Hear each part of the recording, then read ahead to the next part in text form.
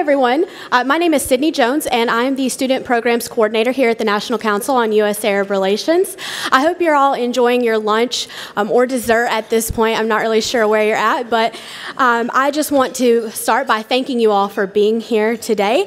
Uh, the National Council has one mission, and that's to educate the public on the Arab region in hopes that we can strengthen the relationship between the United States and the Arab world. And we're able to do that through various programs that we offer. And so at this time, I would like to highlight some of the students that have participated in our programs. And these students, they come from all different walks of life. They have different hobbies, they had different majors in school everything in between. But one thing that they do have in common is their desire to strengthen the relationship between the United States and the Arab region. So, Without, before I introduce these students, though, I do want to let you know that we do have donation forms at each table. If you feel so inclined in helping these programs continue to flourish, um, please just feel free to raise it up, and we have staff that's walking around. We'll be happy to come and collect it from you. Um, without further ado, please join me in welcoming our first student speaker, Alex Carlin.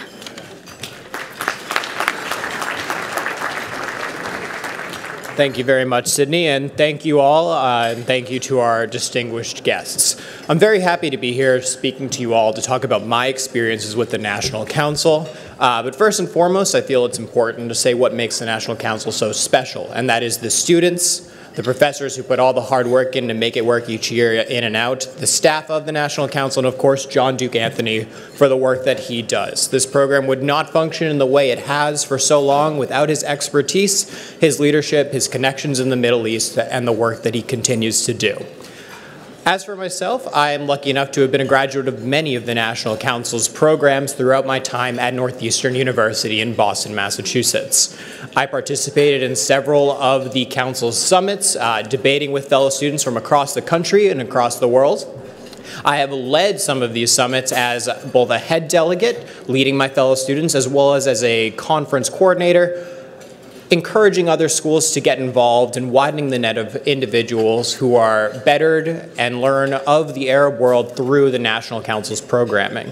I was also lucky enough to travel with the Council to the Middle East, along with John Duke Anthony himself, uh, to experience firsthand how the Arab world works, how policy is made, and how decisions are made at the highest of levels. Each of these experiences have greatly benefited me personally.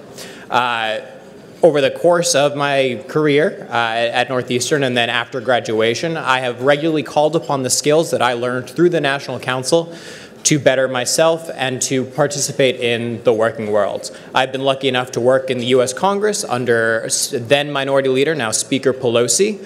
I was able to undertake study in the UN in Geneva under UNIDIR, the United Nations Disarmament Institute of Research, as well as study abroad in New Zealand, uh, research projects in Romania and Hungary and Tunisia. So quite a lot I've been able to accomplish in part because of the National Council, and I'm grateful to them every day. And I believe that this work should, uh, as much as possible, continue. I am just a small example of the great work and the great work that continues to be done by students and recipients of these programs. I personally know of individuals who currently, having graduated from these programs, now walk the halls of Congress, work in the State Department, in the United Nations, across all our uh, branches of our armed services, Google, Facebook, the White House, and many, many more. The future of uh, the United States and global Arab policy is being shaped in part by the National Council, and I would encourage you to continue to support it. Thank you. All right, thank you, Alex. Next, I'm going to call Michael Gallagher up.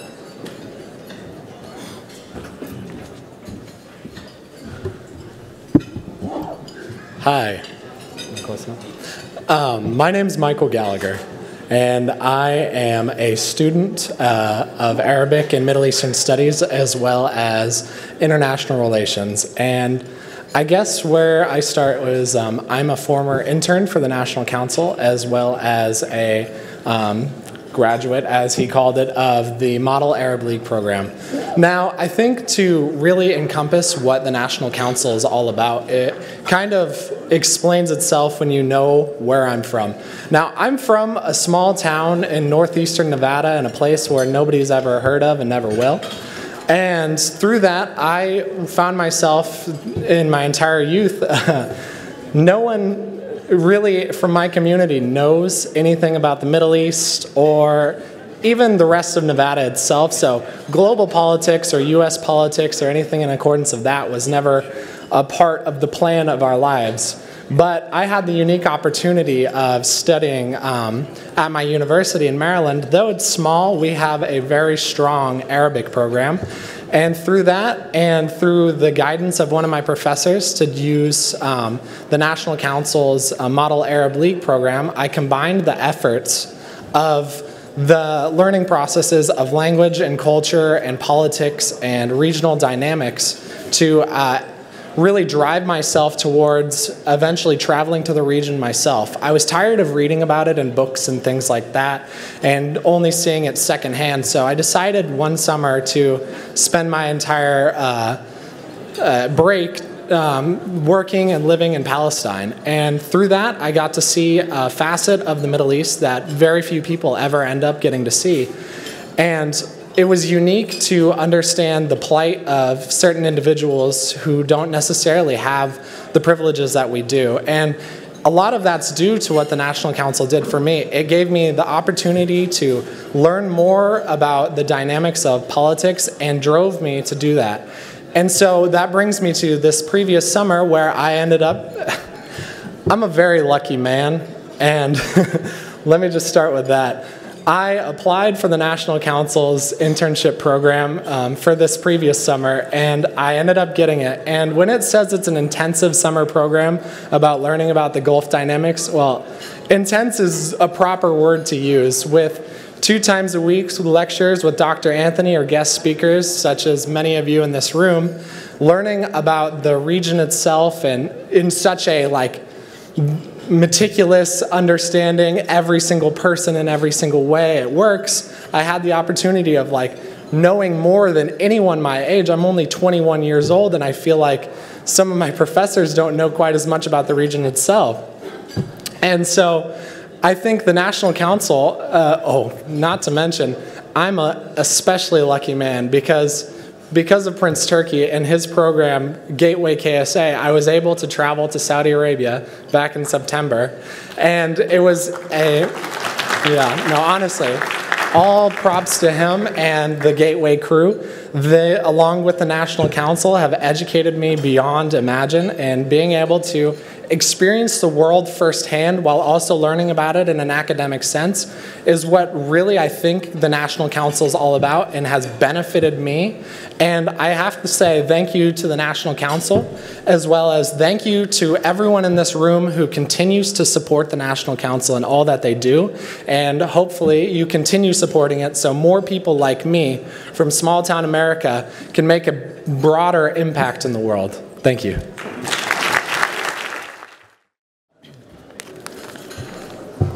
Good afternoon. Ladies and gentlemen, my name is Maaddi Asiri.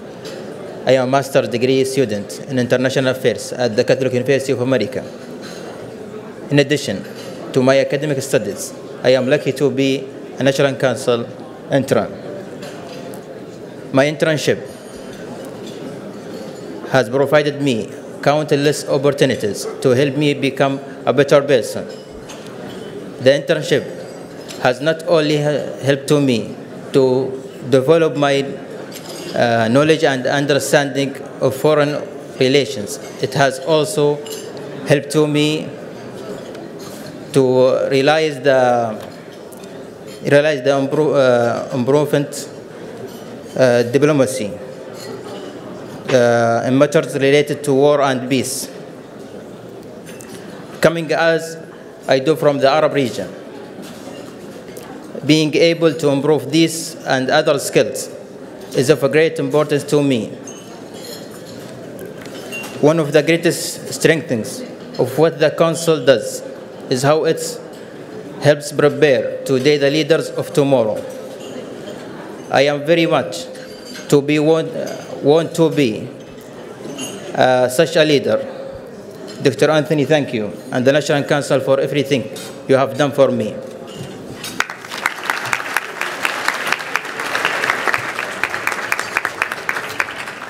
I'd now like to welcome Nora Arwadan.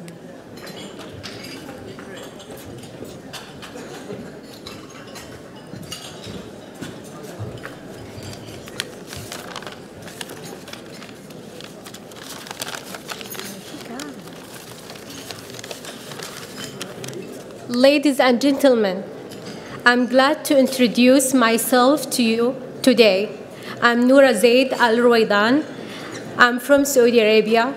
I hold a master's degree in sociology from Mohammed ibn Saud University. And I'm a student PhD program in crime of sociology at Prince Naif University for security studies. And also I hold master's degree from Catholic University in, in International Affairs.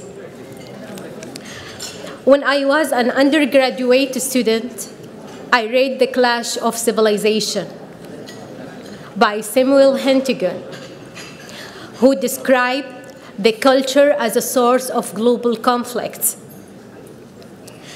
His vision and its relationship to conflict stems from the idea that culture are diverse and each culture will seek to improve its superiority over others. I have a personal view and approach to the importance of differences in culture. And in the rapprochement of civilization. The outlandish thought that differences end up causing conflict is not true, and it is not something to go by. Where there are differences in ideologies, people end up learning from each other, as well as borrowing a leaf from each other's idea.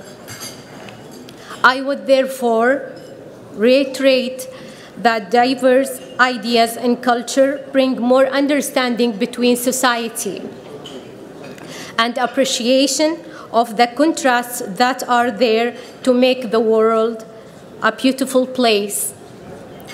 We all would find it's boring to live in place where everyone thinks and behaves in the same manner. The variety in culture have in fact provided a common ground for dealing with the matters that affect our society. Even though we have different culture between East and West, still have a lot in common that we can think about and work through as a health, education, human rights, art, and world peace. I therefore stand here today with the National Council coining on the importance of togetherness, harmony, and cooperation in making our place a better place to live in. Thank you.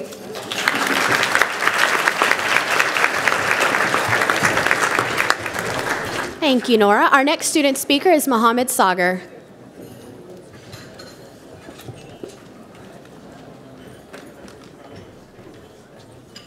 Assalamu alaikum. Good afternoon, everyone. Your Highnesses, Excellencies, distinguished guests, ladies and gentlemen, my name is Mohammed Al Sagar. I'm a graduate student in the University of Miami, majoring in finance.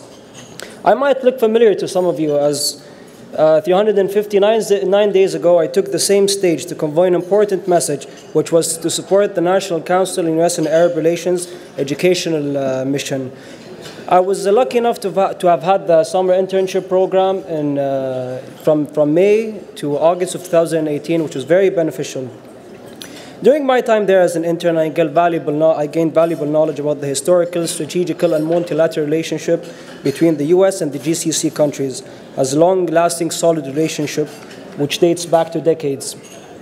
Throughout the internship program, we had the opportunity to sit on lectures on the GCC twice a week at the Elliott School of International Affairs at the George Washington University, taught by yours truly, Dr. John Duke Anthony, and some guest speakers, which were very beneficial and very great speakers.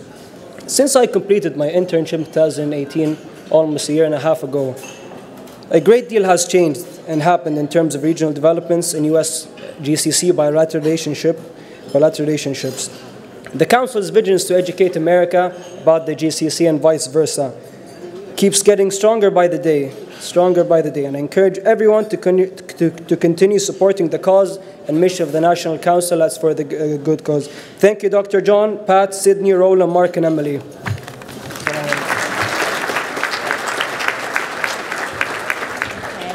Thank you, Mohammed. And last but certainly not least, I'd like to welcome Yasmin Ali to the podium.